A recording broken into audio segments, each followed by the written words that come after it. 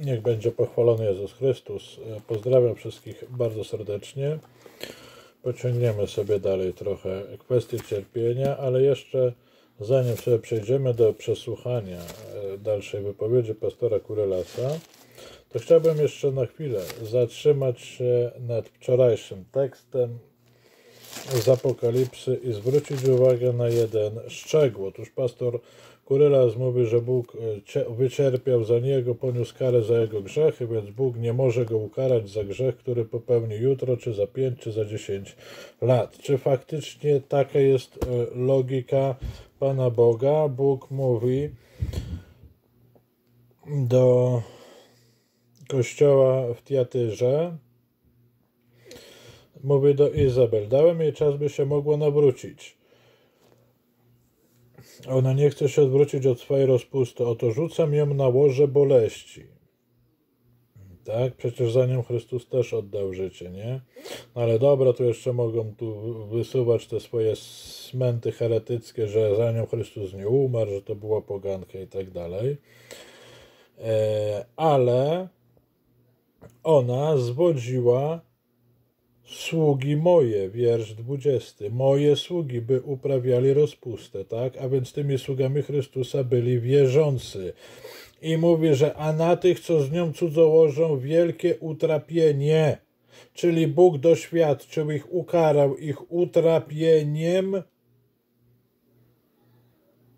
za ich bałwochwalstwo, aby się nawrócili. Teraz zobaczmy, pastor mówi, że nie, jego już Bóg nie może ukarać, bo cała kara spadła na Chrystusa i on już y, właśnie to jest taki prostacki, szatański protestantyzm, już nic, już nic mnie nie tyka. No Jezus tu jednak mówi inaczej. Swoich sługi, czyli takich jak Kurylas, jak nas, wierzących, dotyka właśnie e, utrapieniami, za co nas karze? Ano właśnie za grzechy, żeby nas powstrzymać i nawrócić. A więc to, co pastor mówi, że Chrystus już za niego wycierpiał, on nie może zesłać kary na, na, za moje grzechy, jest absolutnym, yy, stoi absolutnie w przeciwieństwie do tego, co mówi Słowo Boże.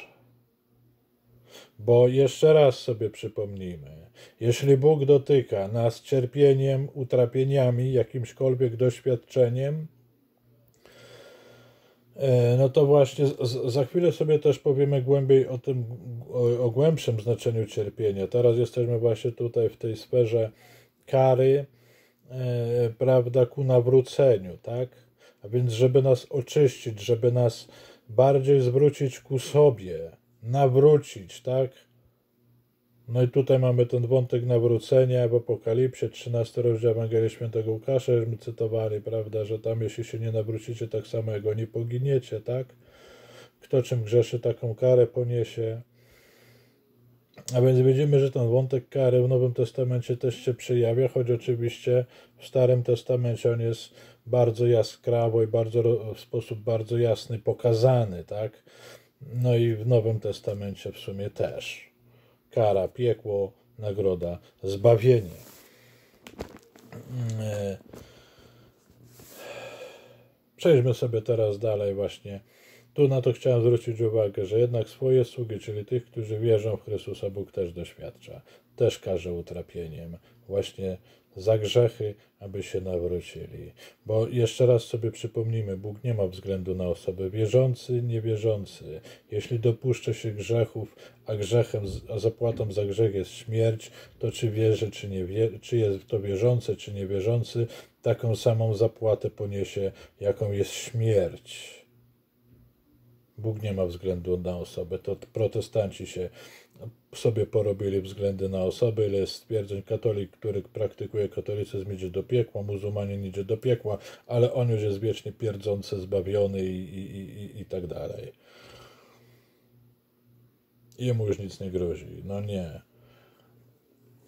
To właśnie muzułmanin może iść prędzej do nieba, a ty do piekła. E, prawda? No ale tak jest protestantyzm. E, posłuchajmy dalej pastora Kurylasa. Bo On jest zabezpieczeniem mojego zbawienia. i wszelka kara spadła na niego. List Jakuba, pierwszy rozdział, trzynasty werset. Niech nikt kuszony przez zło nie mówi, że to Bóg go kusi. Bóg jest niepodatny na zło i sam nikogo nie doświadcza. Źródłem pokus człowieka są jego własne żądze. To one go pociągają i nęcą. Gdy żądza się rozwinie, rodzi grzech, a gdy grzech dojrzeje, rodzi śmierć. Nie dajcie się zwieść, moi kochani bracia. To jakby jest to, co mówiłem na wstępie. Czyli nasze wybory, Porządliwości naszego serca powodują, że popełniamy niewłaściwe wybory. Te niewłaściwe wybory doprowadzają nas często do niewłaściwych myśli. Niewłaściwe myśli często doprowadzają nas do niewłaściwych czy czynów, dlatego że zazwyczaj tak jest. Że jeżeli o czymś za długo złym myślisz, to w końcu. To jest ciekawa koncepcja i prawidłowa, z tym się zgadzam, nie? To jest fajne. Jak myślimy coś o czymś, mamy coś w głowie złego, i tak e, bawimy się z pokusą, bawimy się z tym złem, to w końcu nie tylko się ubrudzimy, ale i wdepniemy w nie. To, to jest fajna koncepcja, z tym się zgadzam jak najbardziej i to, to należy przyjąć. Coś źle zrobisz. Inaczej mówiąc, zgrzesz, zgrzeszysz. Konsekwencją tych grzechów jest skażony świat, w tym choroby. Wszystkie choroby, żeby była jasność. Niektóre da się bardzo prosto e, przedstawić i udowodnić, no co jest konsekwencją choroby HIV. Wszyscy już znają odpowiedź, nie? Nie muszę udzielać. Rozwiązłość seksualna ludzi, zgoda? A co jest konsekwencją kataru? Nie wiem. Nie wiem. Tak, nie wiem, po co Pan Bóg stworzył komary. Ale konsekwencją kataru jest grzech człowieka to, że czasem no, mamy... raczej chciał powiedzieć, że katar jest konsekwencją grzechu. No, zobaczmy, jakie to już jest trywialne, tak? Za grzech zgrzeszyłeś, tak? Nie przyszedłeś na zebranie w niedzielę, to będziesz miał katar. Tak? No, czy gorączka, nie?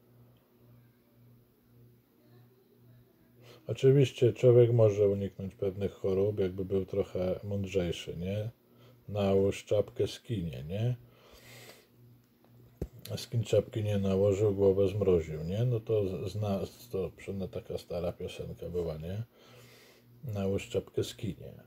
Czyli pewnych chorób można uniknąć, te, tylko gdyby człowiek miał jakieś trochę zdrowszego podejścia nawet i, i do samego siebie. Niemniej jednak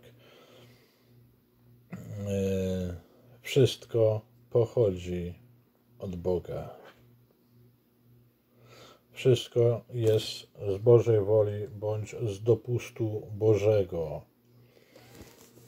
I jeszcze w kontekście chorób, właśnie to, co mówi Hiob do żony, to jest drugi rozdział, kiedy tak go tam podchodziła, on mówi, gadać jak głupia jeżeli dobro przyjmujemy z ręki Boga, dlaczego zła nie możemy przyjąć?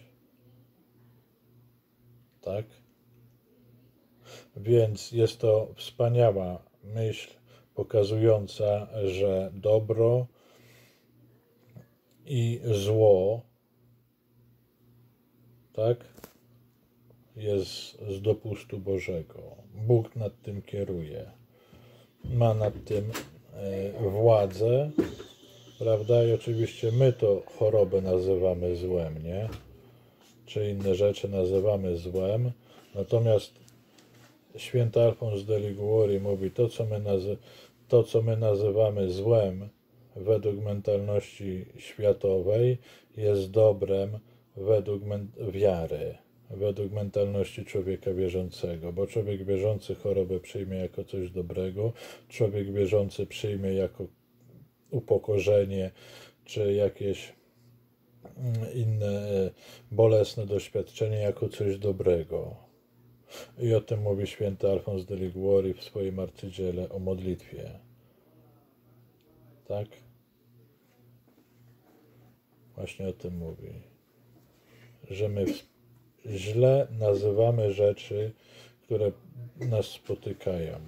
To tylko nasze ludzkie odczucie nam mówi: O, spotkało mnie zło, bo spotkała mnie choroba.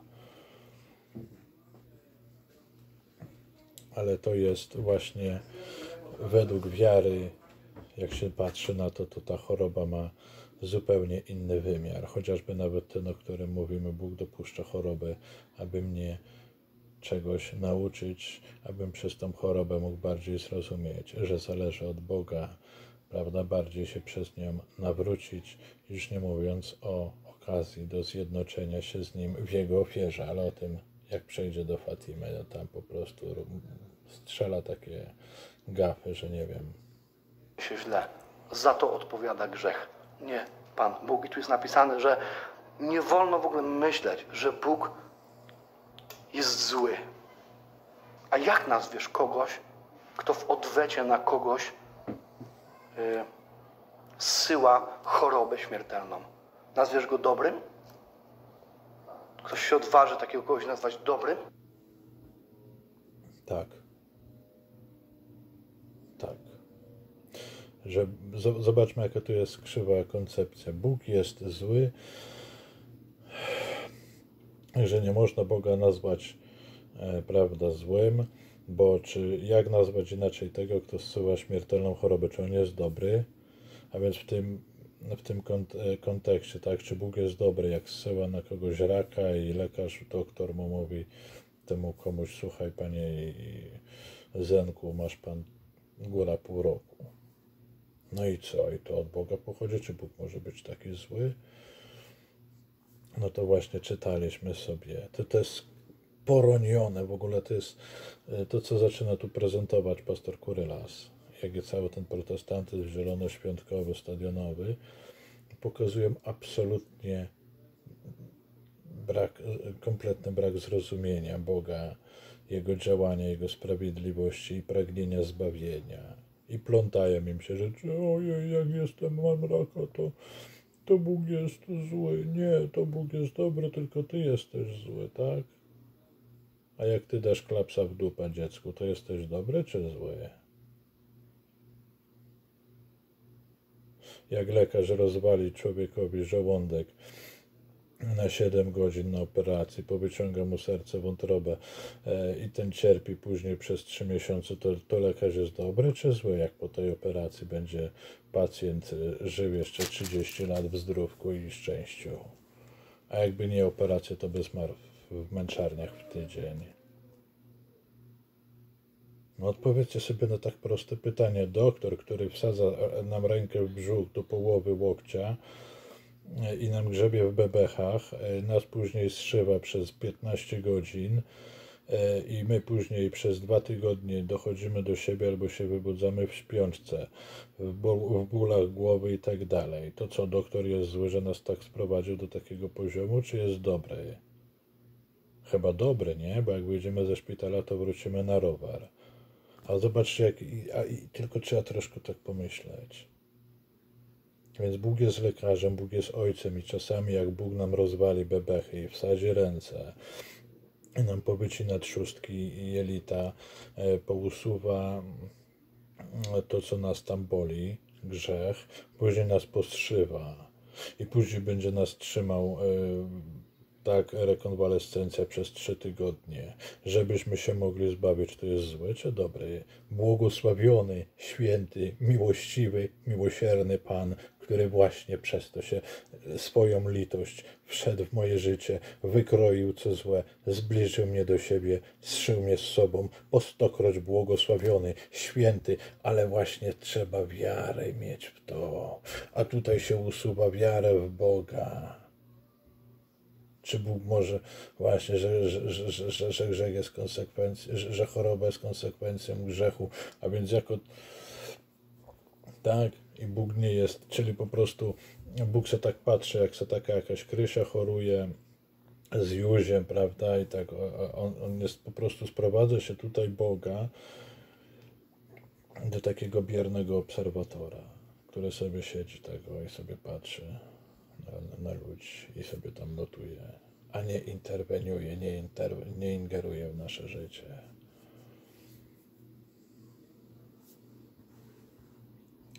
Tak, Boga, który zsyła y, raka, nazwę błogosławionym, świętym, miłościwym i po stokroć litościwym Panem, który mi litość okazuje i człowiekowi właśnie przez tą chorobę, aby człowiek dzięki tej chorobie zbawił duszę na wieki.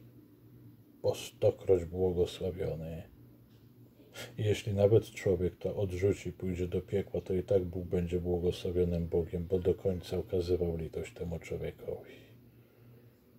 Więc tak, jeżeli doktor powie, że masz pół roku choroby, błogosław Boga. Pół roku życia, błogosław Boga.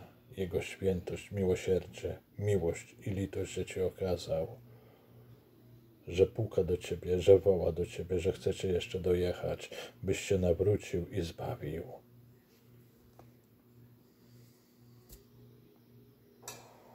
Nie, nazwałbyś go złym i podłym.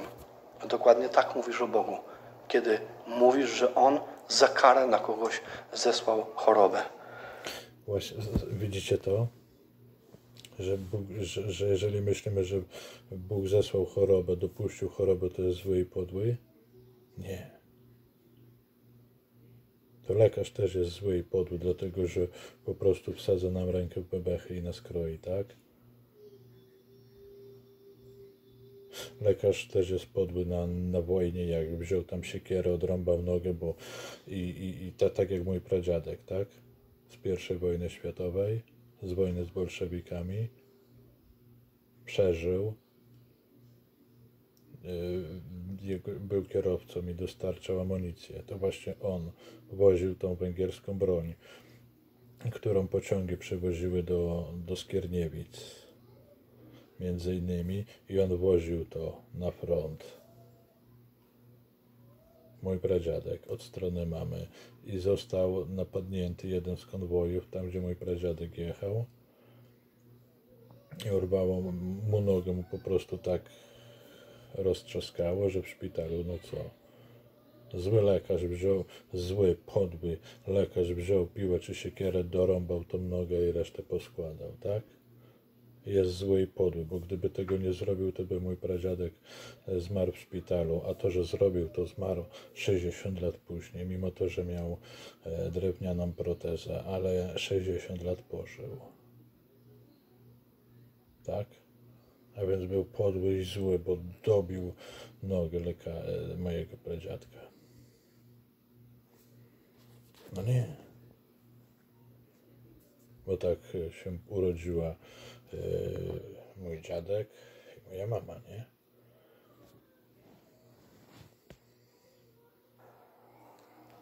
Jak, jak ktoś się z tym nie spotkał, to chcę Ci powiedzieć, że to jest bardzo globalny problem, zwłaszcza, yy, może mniej globalny, ale zwłaszcza w Polsce E, promuje takie myślenie Kościół rzymskokatolicki i nazywają to teologią cierpienia. Tylko, że ta teologia cierpienia jest jeszcze bardziej ohydna mojemu i Twojemu Bogu.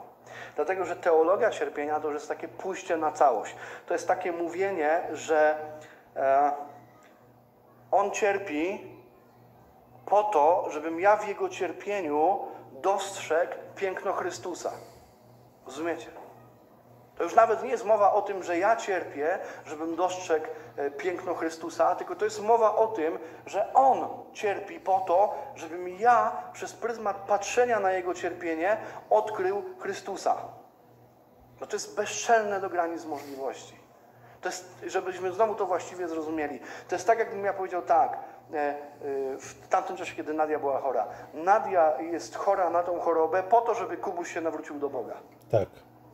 Dokładnie Rozumiecie tak. idiotyzm tej teologii i ohydę tej teologii. I co ciekawe, o tej teologii mówią tylko zdrowi.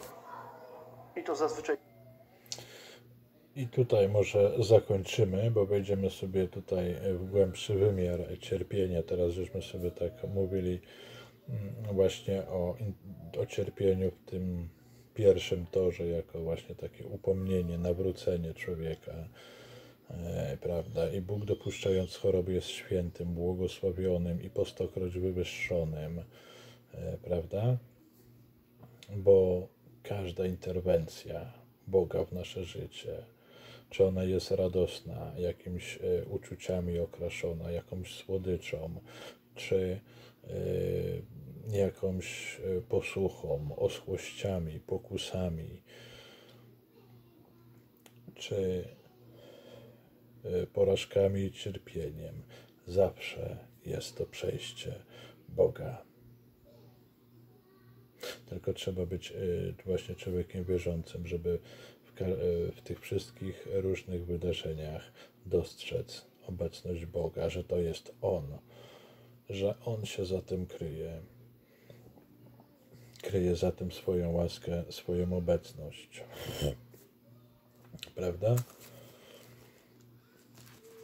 Oczywiście e, Bóg nie kusi, jak pisze święty Jakub, ale pokusy są zbawcze. Nasza walka z pokusami jest zbawcza, ale może o pokusach zrobimy sobie oddzielny odcinek. Pozdrawiam, szczęść Boże. Pokusy to jest ważne. Każdy z, nimi się, z nas się z nimi zmaga, ale nie zawsze wszyscy sobie umiemy z nimi radzić albo czasami ciężko jest się ustawić względem pokusy. Temat dość ważny, więc poruszymy go sobie. Pozdrawiam.